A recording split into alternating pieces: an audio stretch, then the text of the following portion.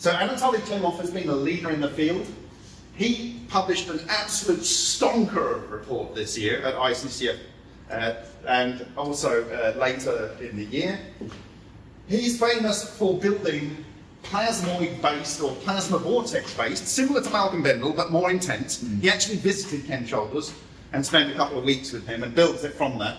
Uh, he claims a COP up to 10, right?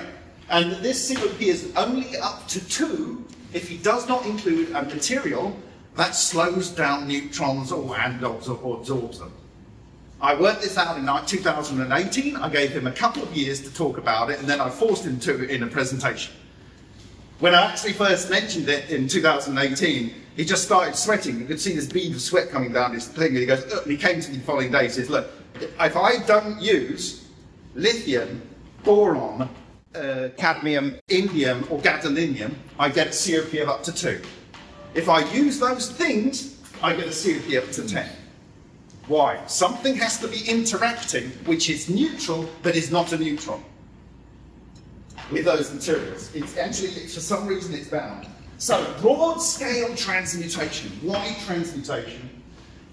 In his latest data, he found by having some elements, you can get elements that when they interact, they produce a gamma ray. He found that, so this is producing radiation next to his reactor. When he runs his reactor for about two days, the amount of gamma rays that are observed by the same detector are reduced. This is exactly what Ivan Filimonenko claimed in 1957. He could reduce the environmental radiation near to a reactor. Mm. And it's this two-day figure. You'll see this two-day figure over and over. In Matsumoto's book, he shows these structures that decay over two days, and only after two days do you see the synthesized elements. Use of, uh, this is why I got very excited when you said about two days for, for your emissions. Very excited because you're like the seventh person now that's seen the same thing, but all in completely independent systems.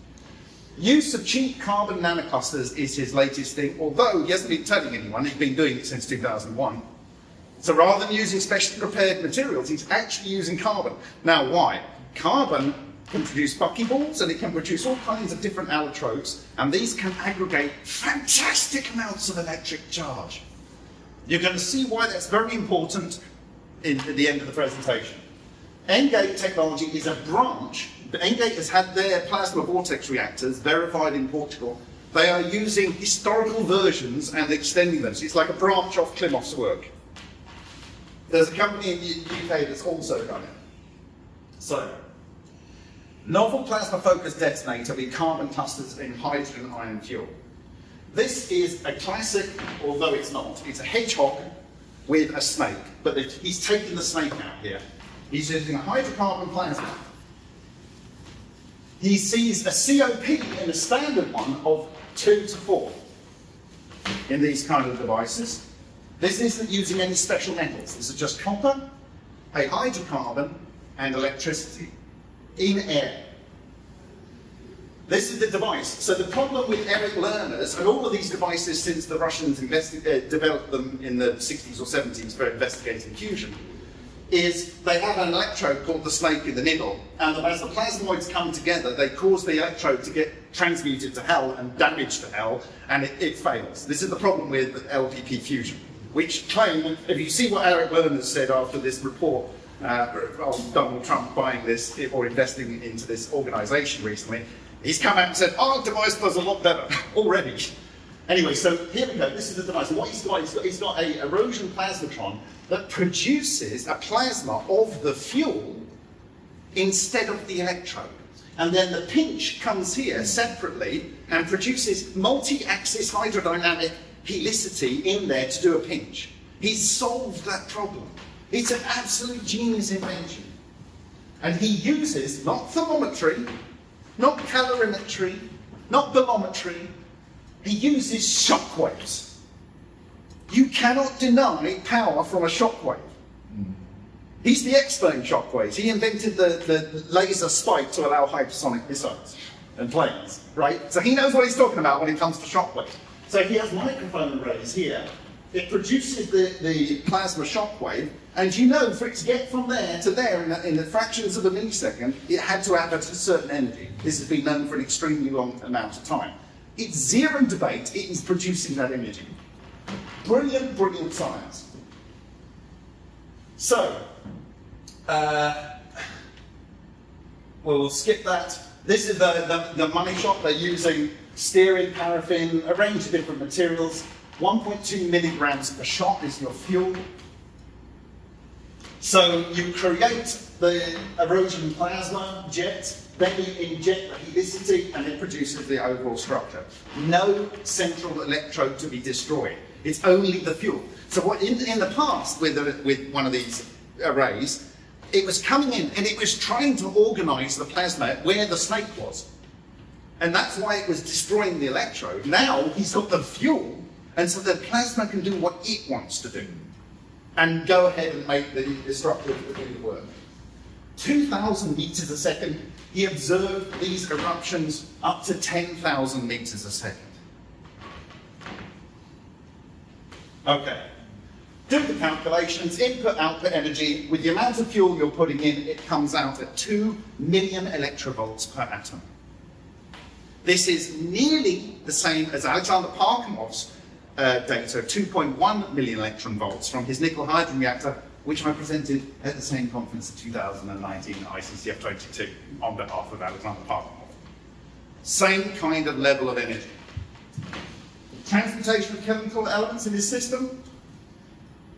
We have production of zinc, calcium, aluminium, lithium. There's no aluminium in there. That must be some sort of nuclear rebirth, or at least cluster fission. Where's the lithium coming from? Where, where is the zinc coming from? That's an easy one. You've got a proton going into the copper. That's an easy one. Calcium, where's that coming from?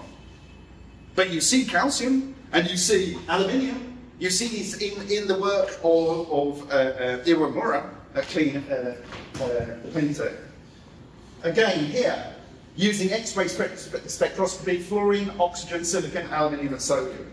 So,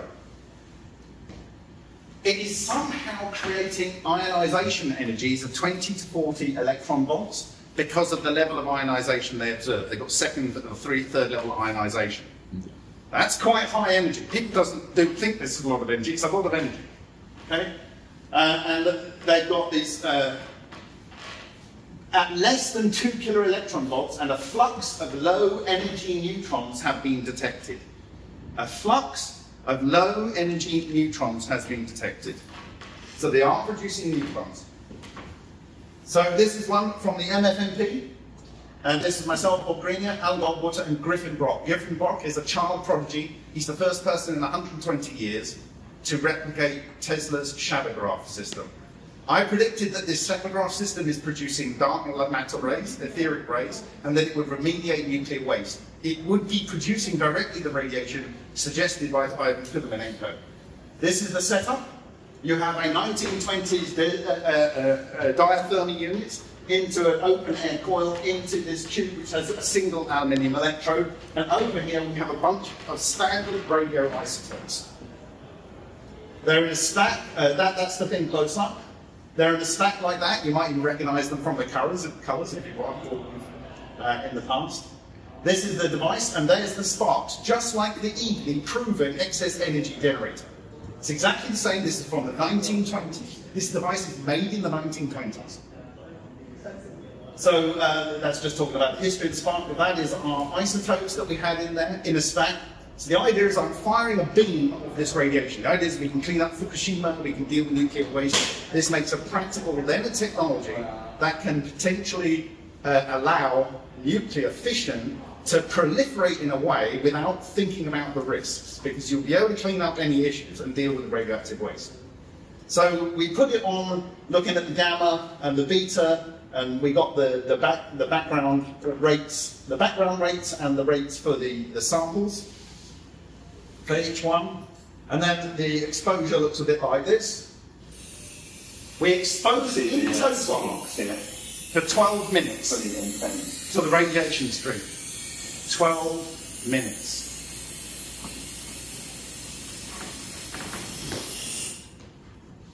Okay, here's your money shots. There's our isotopes. We've got our before, uh, after five sample, uh, average, and the normal half-life is this, using that and then doing a sampling afterwards and seeing what the uh, activity of the sample was.